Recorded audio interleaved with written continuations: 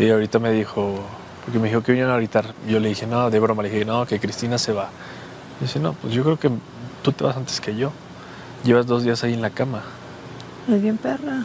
El día de hoy, en la casa de los famosos, Chloe se da cuenta que Cristina solamente la utiliza, ya que menciona la bronca que es bien mierdilla, dice ser frontal, pero solamente ofende y ataca, con lo cual hay formas de decir las palabras.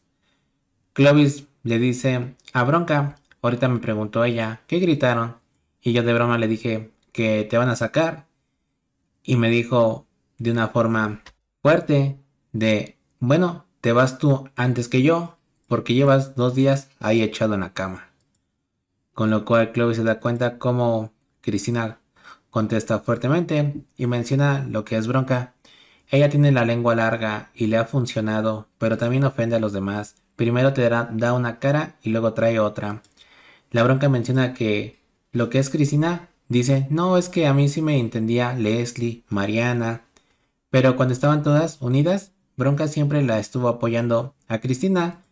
Sin embargo, ella nunca contaba con Bronca, por lo cual mencionó, pues a la chingada, si no cuenta conmigo, ¿para qué estar detrás de ella? Clovis menciona de igual forma que Cristina le da una cara y cuando está llorando quiere que Clovis vaya a consolarla, pero después se pone bastante pesada y la bronca menciona que sí, lo ha visto, como Clovis entra a la habitación, la abraza y después ya la anda tirando a Clovis por allá, por acá. ¿Y para qué? Estar con una persona que es bien mierdilla, le está haciendo lo mismo que a Robbie. Y bueno, el tema con Robbie es que como él ya ignoró a Cristina y no quiso nada, la dejó de buscar. Cristina se sintió bien ofendida y se le pasa tirando mierda a Robbie y Chloe se ha dado cuenta que está haciendo lo mismo con él. Bueno, recuerda suscribirte al canal para estar al tanto, nos veremos en un próximo video.